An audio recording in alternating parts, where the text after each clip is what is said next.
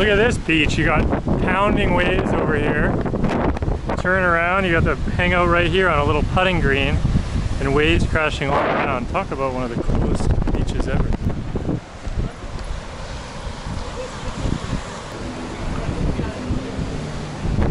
This might be the greatest bar in the world.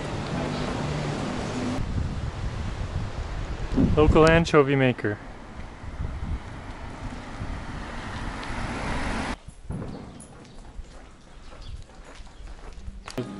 Cebola relleno stuffed onion conservas. You can get clams and beans like in a can. Incredible.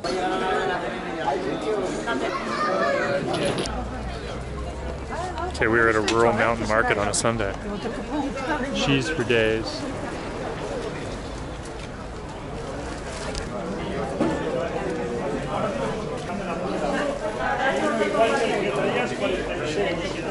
This might be some of the best cheese in the world. Okay, let's talk local cheese empanada. Wow. Queso Cabrales is the local cheese. That's what's in that. Kind of like a blue. What do we got here? Random carne empanada.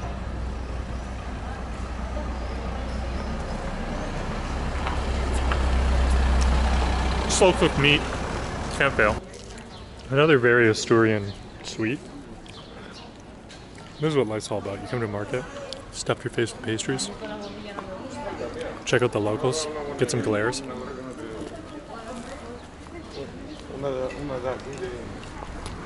You can't go wrong. This is traveling. Ah, foto. Yeah. Entendí. ¿Cuánto? Queso artesano vaca cabra. Acércate más. Some of the most beautiful cheese I've ever seen in my life. Look at this, Baroncha Prencha. It's like chorizo bread with hunks of fat. Cornbread. I've never seen that. I don't know what that is.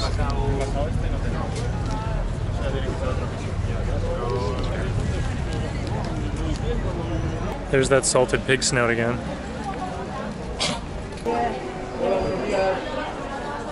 That's how you know your product's good. You just show that it grows on the bush.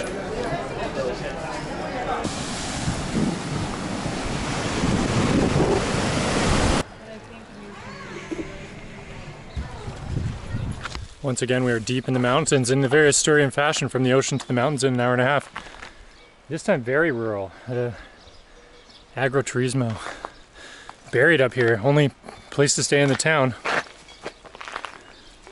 It's gonna be a lot of fun. Let's see what we can find. You see all these raised houses, they're old storage lockers. You see them on stilts. Right over there. Look at these storage lockers.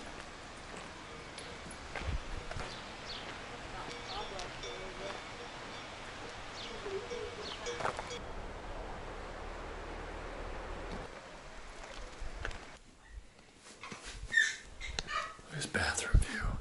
I, I could never live here though. Farming town. I want to give you a quick showing of where we stayed last night. Because it was kind of a cool building. It's an old farming building.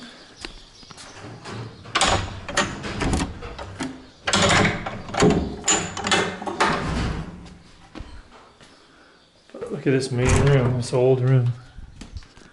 Old sewing machine, old fireplace. He converted it into kind of like a tourism agroturismo. You can see the old photo there of the original building, which is still here. Not bad. Old sink, old desk, probably many love letters penned, looking over the mountains. Oh, what you can find in a fun little Spanish Asturian town. Let's go see some ancient villages. Look at this. How they used to live. The hay roofs. perfectly maintained. The true Asturian architect.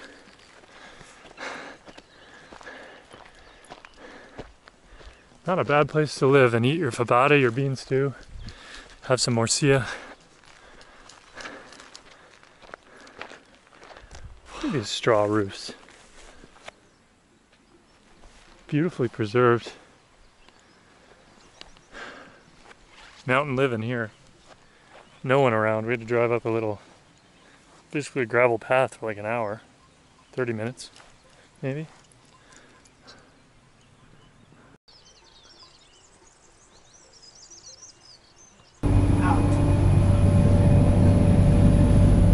Taking a train through rural Asturia. See what we can find in the woods. On the way to the oceans.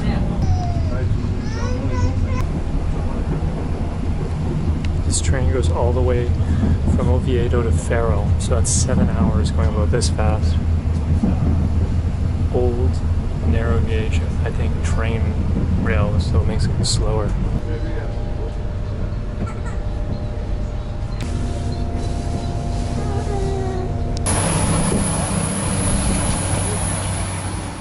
Here we are in La Caridad, small town, Asturias.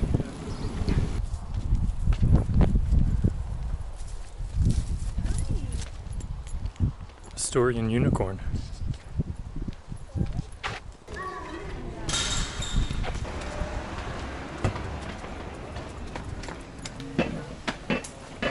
The town center of La Caridad.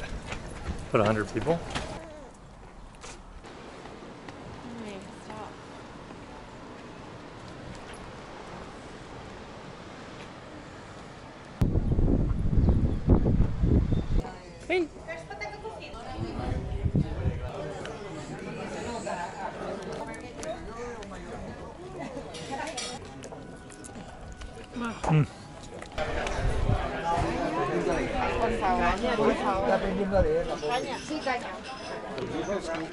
What a meal. Cod cheeks, Galician octopus.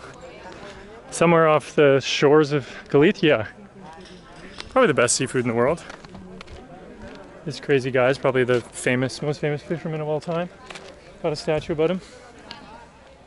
This is where the good seafood happens, right on the port.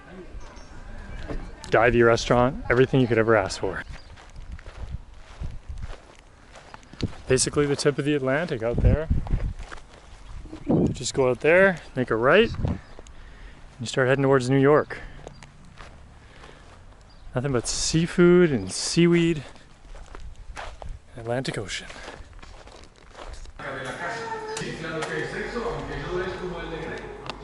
The Merluza Festival, that's what we just had. Hake cheeks. Pretty impressive. Merluza is a fish they have here. It's very hard to find other places, but they obviously had a festival there because they're throwing one, throwing up a poster on the wall. But the cheeks are very gelatiny and special, and they're very hard to find outside of Galicia. But those were soft and delicious. Ah! Huh?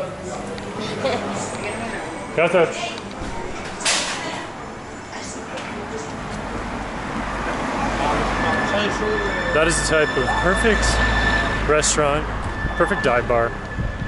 I uh, went there, had a quick little steak and a plate of potatoes. That's what you look for when you travel. Just a local joint recommended by the hotel front desk dude. I don't even know. Wouldn't have been able to find it. Just looks like a totally unassuming place. But locals only, cheap, tasty. So there's your tip of the day.